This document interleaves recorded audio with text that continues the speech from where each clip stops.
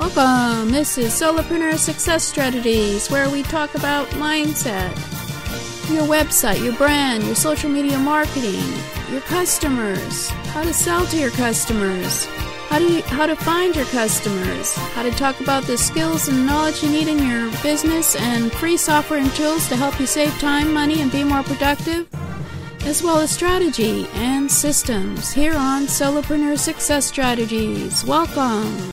Welcome. This is Jane Gardner, and welcome to Solopreneur Success Strategies. Today is Strategy Sunday, and we're going to be talking about whether your business plan is going to be profitable and how to determine that.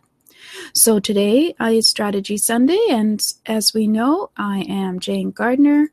I work with my husband for the last 20 years in our home based structural engineering firm in Western Canada, and I came out onto the internet to help others start their own home business. So, hey, this is what Solopreneurs Success Strategies is all about. It's about learning about things that you need to know in order to have a profitable business.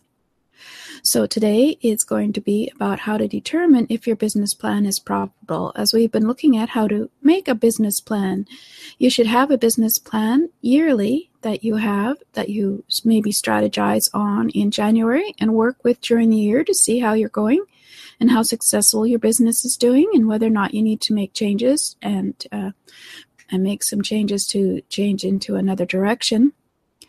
But this is Strategy Sunday, where we talk about your vision for you and your business. We've talked about that previously. Uh, goals, your one year, three year, and five year goal.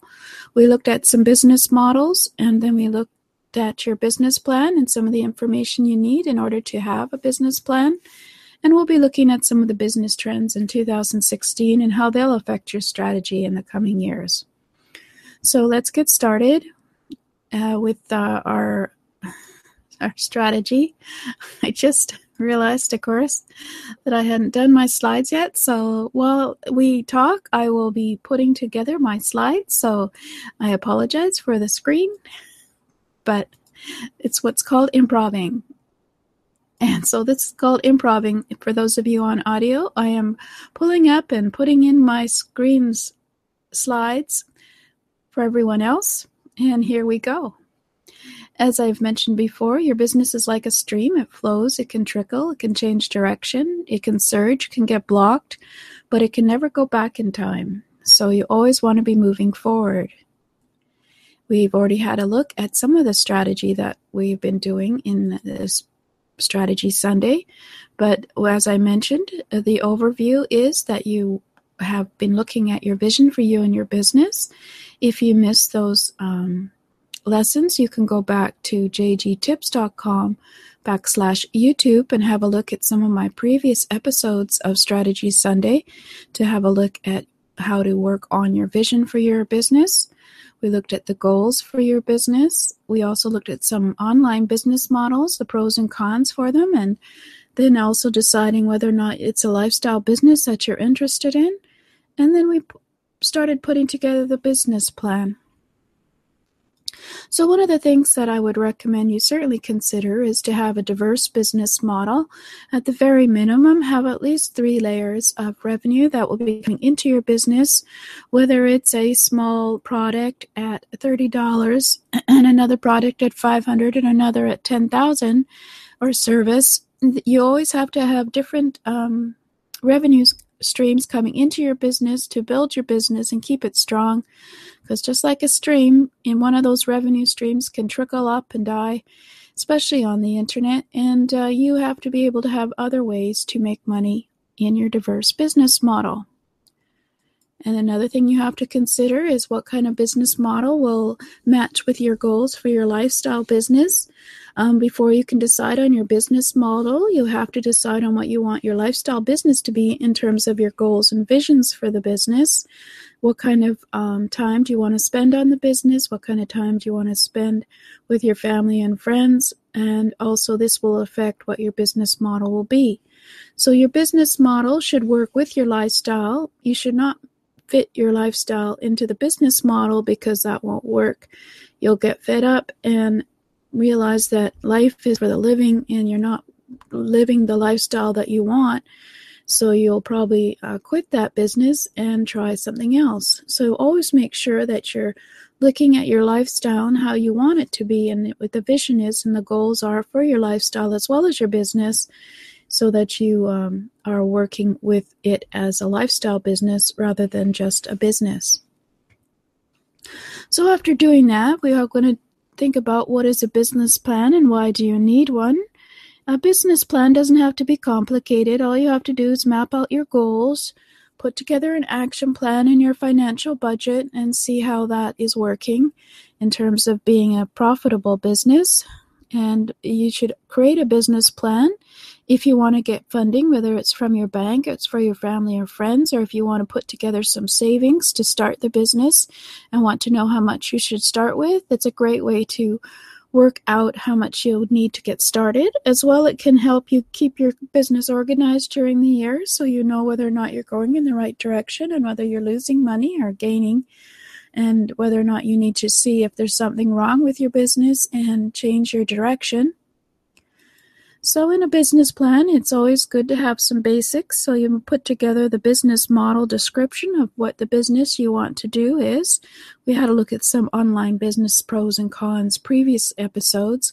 You can go look at those at jgtips.com backslash YouTube anytime. And then we have the unique value proposition that you can use to differentiate yourself from others.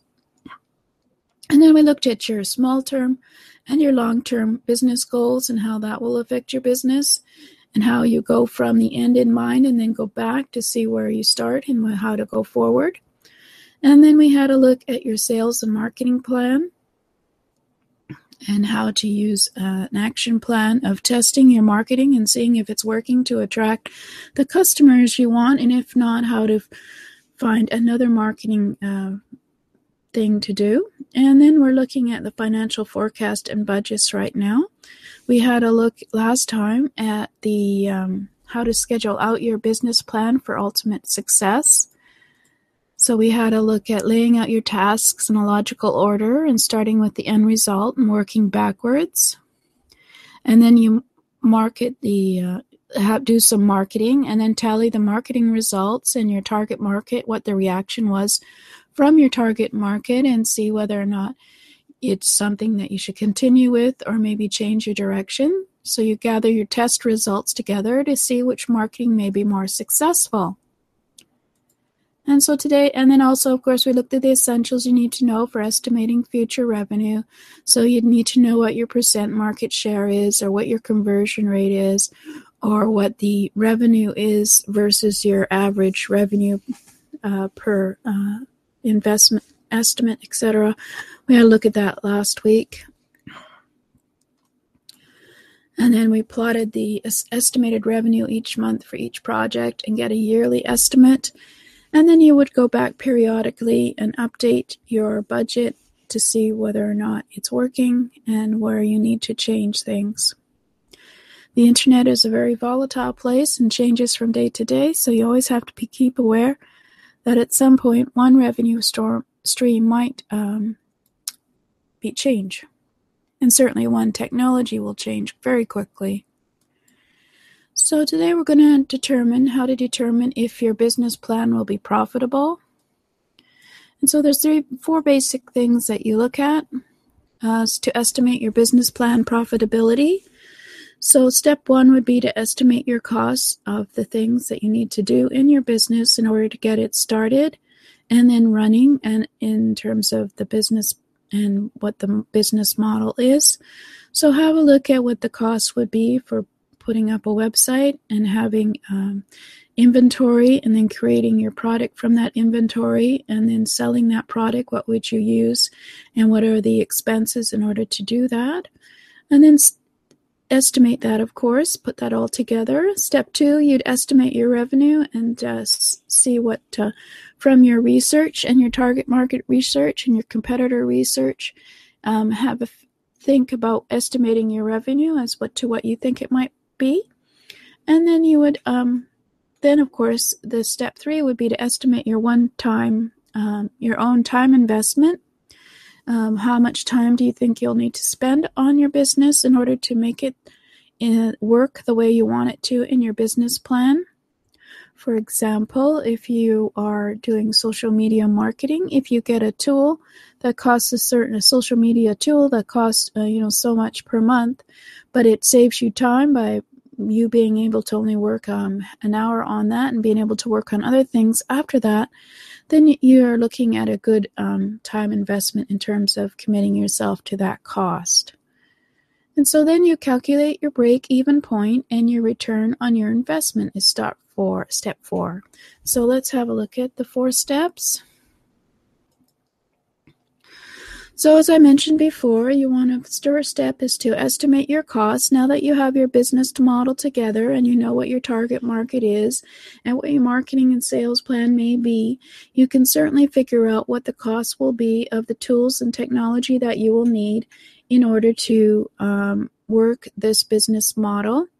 And then you would estimate uh, your fixed versus your variable costs. So, your fixed costs would be for example, a yearly fee for a website uh, would be a standard cost, whereas a variable cost will be cost of your inventory, and depending on how much inventory you need to make and how much the cost of that might vary as you go uh, through the year with the cost of living increase on um, cost of the inventory and producing it. So you can look at the variable costs and put down your fixed costs that you will have. And then you want to estimate your revenue. It's just a guess, but you look at maybe your past income that you've done with it and, what you're doing to increase your income and see whether or not um, you think you can estimate your revenue possibilities for term after you have already determined what the percentage of your target market you could probably get and who your target market is of course and you've done all research on your competitors. And um, then you have a look at maybe some new business ideas and you look at other competitors to help to or even ask advice of others who are in the same business to help estimate what the uh, revenue might be uh, once you uh, start uh, working in your business. And then you want to estimate how much time will you be spending on your business because it's important to know because time is an expense. And if you don't know how much time you think you'll need in order to market your business versus actually um, uh, connecting with your clients or selling your product or putting up a website or you know whether or not you need to find someone else to do some of these um, some of these uh, chores in your business you need to figure out also what the time is in as an expense in terms of uh, obviously estimating your own time investment in the business. And then to calculate your break even point and your return on investment um, how long would the revenue cover your expenses? And when will you start earning profit? So you would make a budget and put it on an excel spreadsheet of all your costs um, all your um, possible estimated revenue and then subtract the uh, cost from your revenue and see how long it would take until you could get a revenue that would make a profit and um, to start making a profit so then, what you would want to do is basically um, know well, is it going to be six months from now that I, if I start making a bit of revenue, how when will it be if I was just to go uh, without any um, initial investment uh, versus uh, getting an initial investment capital investment, excuse me, investment? Uh, would that help in terms of being able to get the revenue I need? Um, before the money runs out, um, and how long that would be until you could um, have a profit. So you do a budget and make some rough estimates that can help avoid mistakes and determine whether your plans and your goals are worth the effort and expense.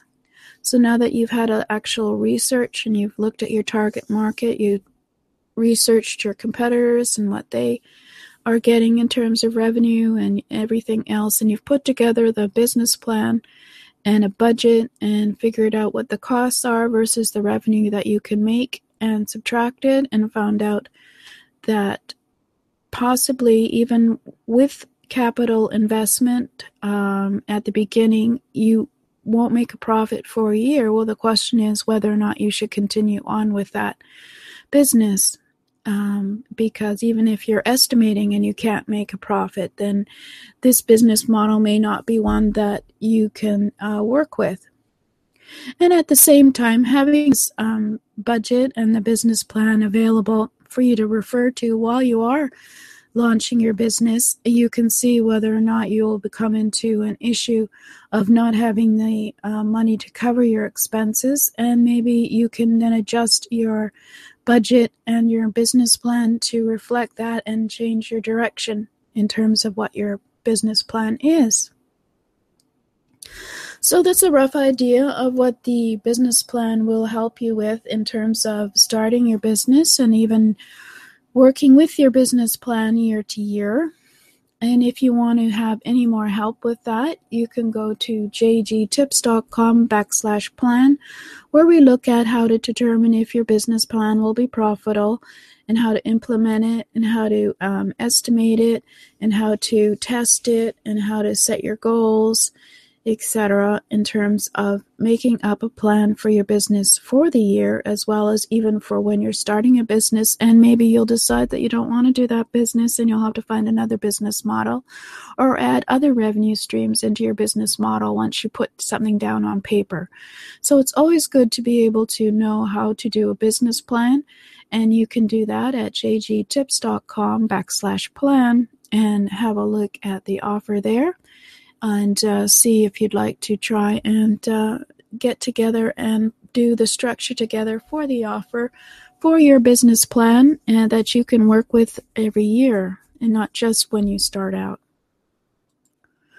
So next week we'll look further at the financials. Maybe we'll do a demo of financials. And to catch up with the Strategy Sunday training and the rest of the week, go to Solopreneur Success Strategies playlist on my YouTube channel at http colon backslash backslash jgtips.com backslash YouTube. So thank you very much and please subscribe, comment, and like my video, it'd be much appreciated if you subscribe and comment and like.